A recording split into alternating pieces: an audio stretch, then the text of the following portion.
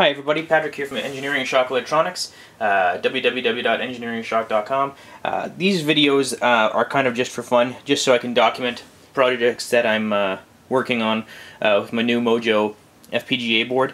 Um, and if anyone wants the code, uh, leave a comment and I'll see if I can make that available at engineeringshock.com. I do that typically for my Kickstarter campaigns where I have to leave code samples for people. in any case, this one is very simple. Um, in the tutorial book that I'm, I'm looking at, uh, there's a debounce circuit and or a debounce program in Verilog. And I I looked it over a hundred times. I understand it and I hated it. Uh, I didn't like the way that the instructor had written it. Now I'm not saying I know better because I am a noob at Verilog but I didn't like the way that they did it.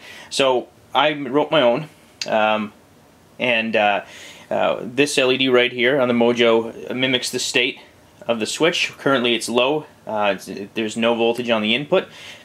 And uh, it's the debounced state I should mean. So if I don't have a debouncer and I switch this on, in a matter of a couple microseconds, you'll see some switch bounce, and the uh, FPGA will see that as a whole bunch of zeros and ones, and it will it won't be a simple on-off. It will be many on-offs. And since this is working at 50 megahertz, this uh, board, I had to write a debounce program. So the idea is press the button, and the, the uh, unit waits about uh, about one tenth of a second before turning the LED on.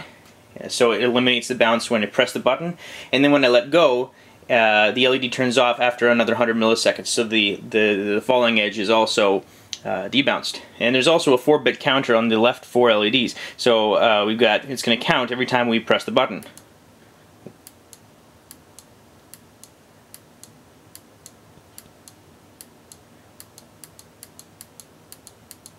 And that shows us that the signal is properly debounced. So I'll press once more and it will reset. So I'm going to stop the video and I'll give you a closer look at the LEDs. So the LEDs are right in the front. Again, the rightmost LED uh, shows the state of the switch, the debounced state of the switch, and the left uh, four are uh, the uh, bit 0, bit 1, bit 2, and bit 3 of our 4-bit counter. So every time I press the button, it starts counting in binary.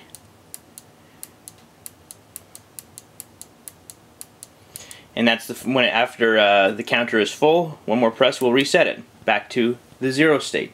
So yeah, I mean this is a very simple project. Um, I'm trying to learn Verilog uh, at a casual rate because this is, uh, you know, electronics isn't just my business, it's my hobby as well.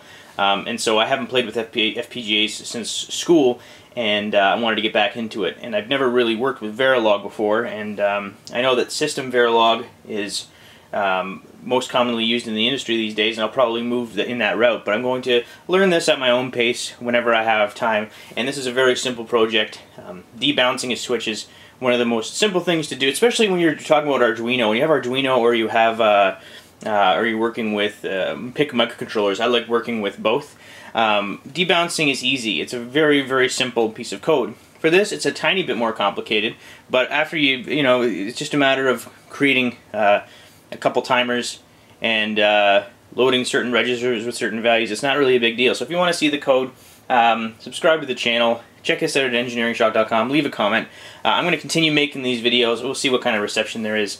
Uh, if there is uh, an actual need for the code, um, I'll, I will see what I can do to provide it. Uh, I will admit in advance that I am not, I, again, not an expert Verilog programmer. I'm a beginner. So I just wanted to share. Thank you both. Thank you all for your time. I hope you have a great day, and I hope you enjoyed the video.